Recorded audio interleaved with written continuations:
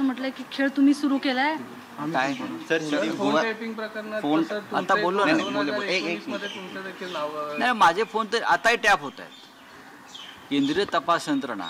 हे माझे फोन आताही टॅप करतात मला माहिती आहे. पण मी माझा फोन नंबर बदललेला नाही. तोच आहे आणि तोच फोन मी वापरतो. सर नऊ मार्च माझं जे काय ऐकायचं ते त्यांना ऐकू द्या. तर अधिवेशन सुरू आहे आणि अशा पार्श्वभूमीवर राज्यात कायदा आणि सुव्यवस्थेचा. प्रश्न निर्माण होऊ शकतो. इतका मोठा मोर्चा करण्याचं आवाहन भाजपच्या बाकी इथे सगळ्या कार्यकर्त्यांना फडणवीस आणि भाजपने केलेलं आहे. धर्म आणि देशाच्या रक्षणासाठी आंदोलन करतोय असं म्हणतात. धर्म आणि देशाच्या रक्षणासाठी बऱ्याच गोष्टी या देशात कराव्या लागतील. लोकशाही आणि स्वातंत्र्य धोक्यात आलं या देशात. या देशातली लोकशाही